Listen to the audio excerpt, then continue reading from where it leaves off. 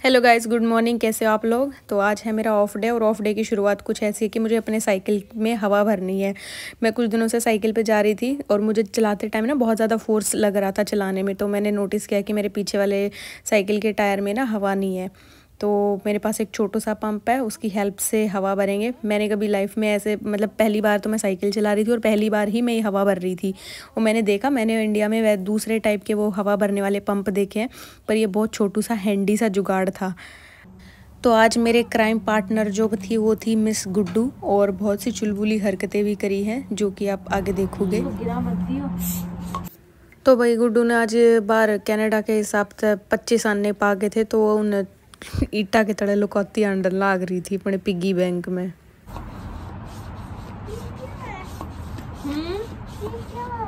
क्या? पता क्या? है तो इनको पता क्या ही है ये? ऐसे कुछ भी मत उठा लिया करो। फिर यह गार्डन में तो पता नहीं कौन सी संजीवनी बूटी उठा कर ले आई थी जो मेरी भी समझते बाहर थी। हवा भरनी है। गुड्डू की दन्नों के जो टायर थे उनमें भी हवा थी नहीं तो मैंने उसको बोला भाई लेके आने के लिए थोड़ी देख लेते हैं। मैकेनिक गिरी थोड़ा सा आजमा लेते हैं उसकी साइकिल के ऊपर भी।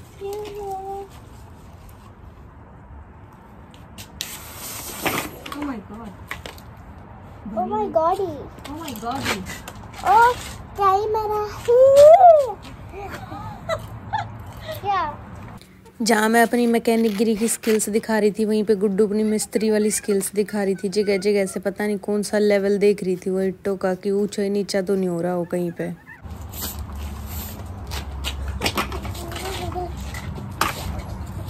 कौन से वाले में कम है? आगे वाले पीछे वाले में। कोशिश मैंने बहुत करी, पर मेरे हाथ कुछ नहीं लग गया लास्ट में आकर हमने हाथ खड़े कर दिए, क्योंकि भाई मेरे बस की बात नहीं थी, सस्ते मैकेनिक ऐसे ही थे। उसके बाद भाई हम एक्सप्लोर करने चले गए पूरी फैमिली जो नियर बाई हमारे जो टाउन है, उसके पार्क को, जहाँ पर अलग अलग झूले थे। जैसे कि अपन इंडिया में भी होते हैं सेम ही था, पर भाई शांति बहुत थी।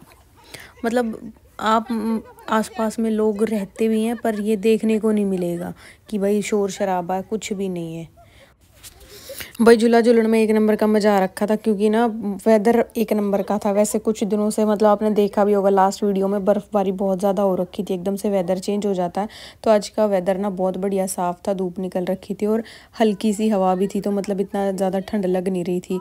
उसके बाद मैंने गुड्डू को बोला इंसिस्ट किया कि भाई आओ साथ मिल के झूला झूलते हैं पर मेरी जो क्राइम पार्टनर थी उसने मेरा साथ छोड़ दिया। उसने अपना लटकने वाला गेम जो था वो चूज़ करा खेलने के लिए। गुड्डू के सारे भाई मैंने भी अपना जो है स्टेमिना चेक करने का सोचा भाई कल को सरकारी एग्ज़ाम आ जाए तो फ़िज़िकल मेरे से हो पाएगा कि नहीं हो पाएगा? तो भाई मेरे से कोरी ना है नहीं हो पाएगा मुझसे। ये इनका नया स्टाइल है।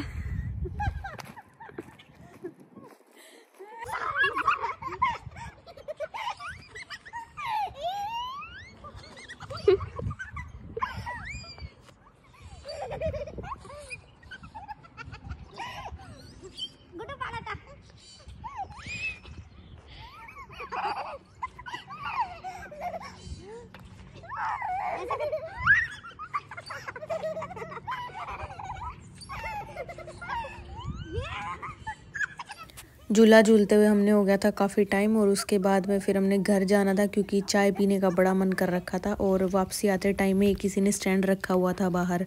तो मैं बता दूँ कि ये चोरी करके मैं नहीं लेके जा रही हूँ क्योंकि कनाडा में ऐसा होता है कि अगर आपको किसी सामान की नहीं ज़रूरत है तो आप घर के बाहर रख सकते हो और जिसको ज़रूरत होती है वो लेके जा सकते हैं।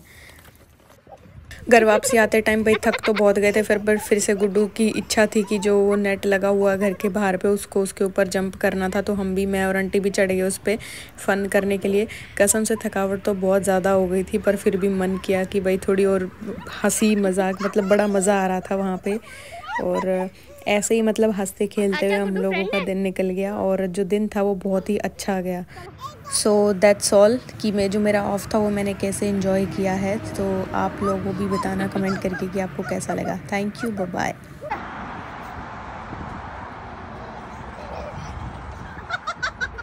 मम्मी ने जूते भी नहीं निकाले अपने। क्या बात मम्मी आज कूदा नहीं जा रहा क्या? ओह!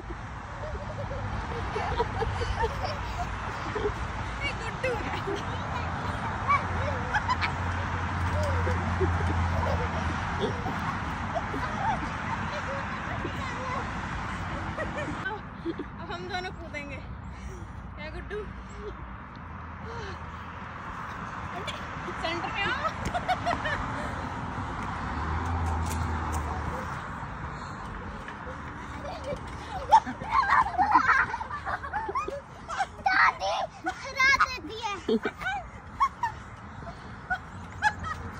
शर्म कर ले गुड्डू। गुड्डू टमाटर की तरह चलते फिर रही सब्जियों में।